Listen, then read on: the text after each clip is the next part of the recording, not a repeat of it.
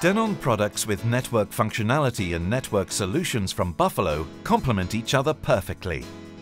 Installation could not be easier. You just need to connect all of the devices to the existing internet router. That is, the LinkStation Mini and any AV receiver or other network player. A PC helps in configuring the LinkStation. Simply insert the CD supplied with the product and start the automatic installation program. It configures the computer so that the LinkStation appears as an additional drive on the desktop.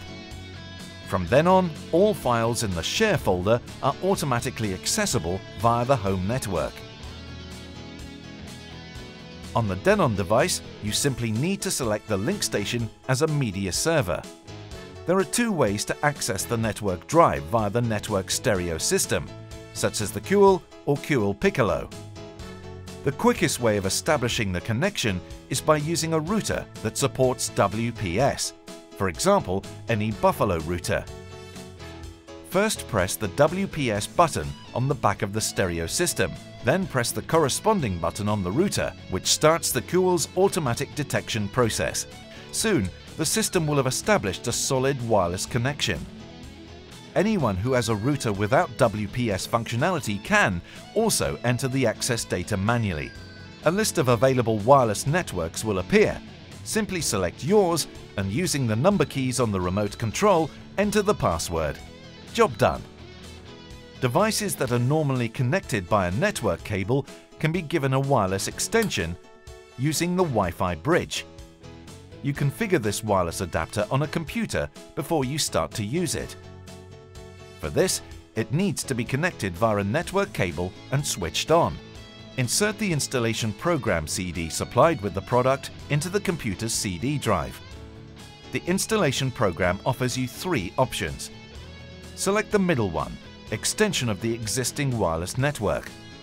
That's because you want the bridge to connect to the existing Wi-Fi network in your home.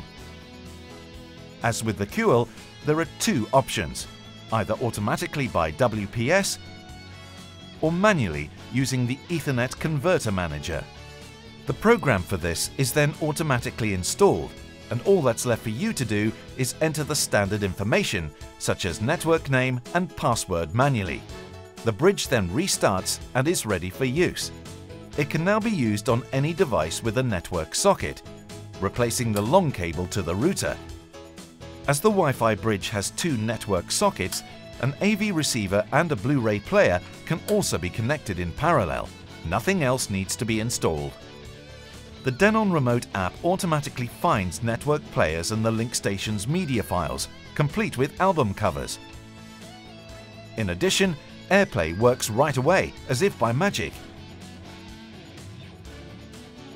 Denon products and network solutions from Buffalo showing how simple home entertainment can be.